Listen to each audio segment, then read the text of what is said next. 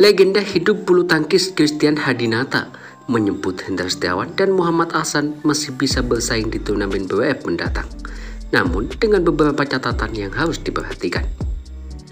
Hendra dan Ahsan seperti diketahui mengutarakan keinginannya untuk terus bermain di 2023. Rencana itu mereka ungkapkan usai meraih runner up di BWF Photo Fitness 2022 di Bangkok, Thailand pada akhir pekan lalu.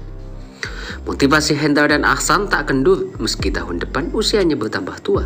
Di musim BWF 2023, Hendra akan berusia 39 tahun pada 25 Agustus, sedangkan Ahsan berusia 35 tahun pada 7 September mendatang.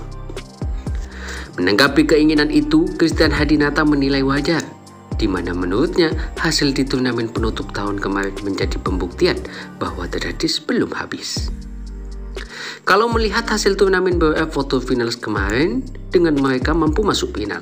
Artinya, kondisinya masih sangat bagus ya. Mereka pun kalahnya bergame, kata Christian kepada Detik Shot.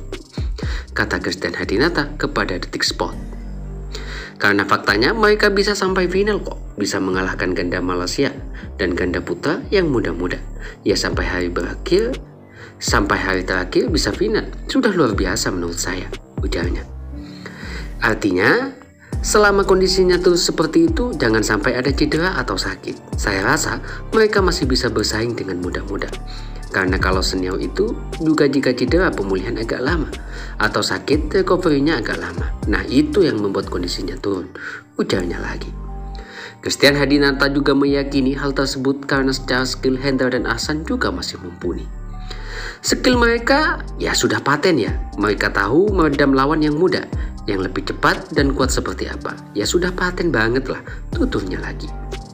Selama kondisi Hendra dan Ahsan baik, tentu dapat menghadapi lawan-lawannya.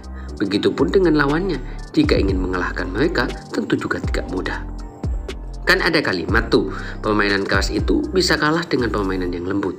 Bisa diredam, seperti batu nyemplung ke air lah, hilang. Nah, hasil mereka seperti itu, kata juara dunia tahun 1980 di Jakarta itu.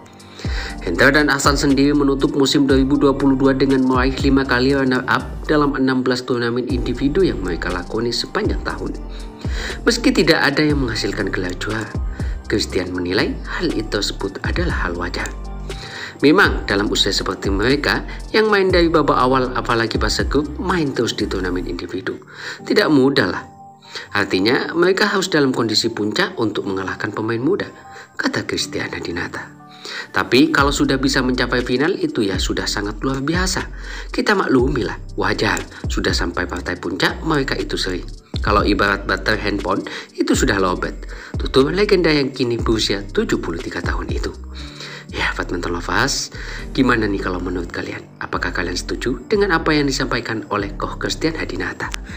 Tinggalkan jejak kalian di kolom komentar sebanyak-banyaknya, serta dukung terus channel ini dengan cara di like, di komen, dan subscribe, lalu nyalakan lonceng notifikasinya, agar kalian tidak ketinggalan informasi-informasi menarik lainnya dari channel ini.